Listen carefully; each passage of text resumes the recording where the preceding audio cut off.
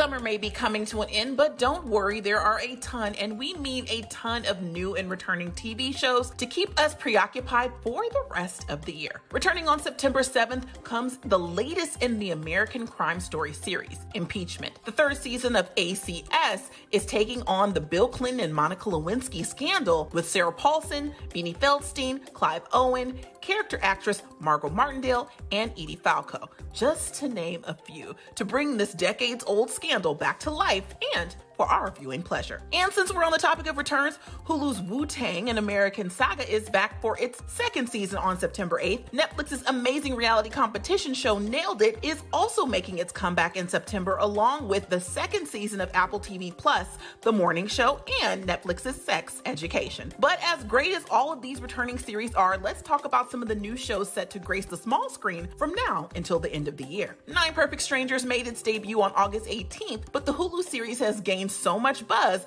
before it even aired. The show is based on the New York Times best-selling book by the same name and stars Nicole Kidman, Melissa McCarthy, Michael Shannon, and Luke Evans. Nine Perfect Strangers is a drama that takes place at a boutique health and wellness resort that promises healing and transformation to help these nine stressed out city dwellers get on a path to a better way of living. However, as the Hulu synopsis puts it, these nine perfect strangers have no idea what's about to hit them. Sounds creepy. And speaking of creepy things, in October, Amazon Prime Video is dropping a series version of the classic and beloved slasher film I Know What You Did Last Summer, just in time for spooky season. In that same month, ABC is dropping a new show titled Queens about a girl group that gets back together after many, many years apart. Eve, Brandy, Naturi Naughton, and Nadine Velazquez are starring in Queens, and honestly, after hearing that star-studded lineup, October 20th can't come soon enough. Don't worry, Star Wars and Marvel fans, we didn't forget about you. In December comes the newest Star Wars series about the legend himself, Boba Fett. The series, appropriately titled The Book of Boba Fett,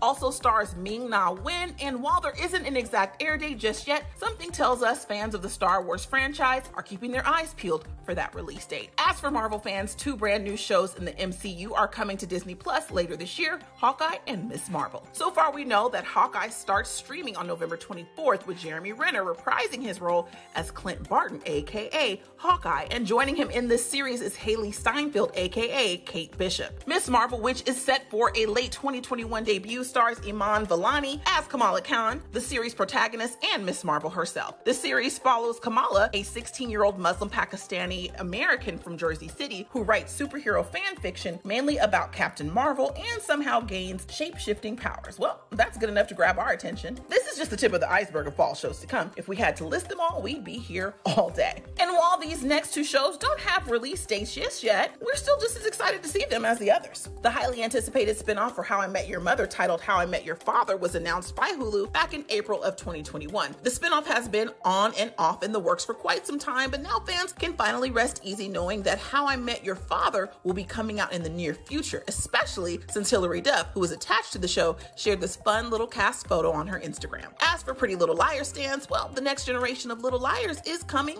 and soon. HBO Max picked up Pretty Little Liars Original Sin, and while there's no premiere date just yet, Deadline reported that the show went into production this summer in New York. But anyway, let everyone know you're booked and busy for the rest of the year because there's a lot of TV that needs watching and you definitely don't want to miss it.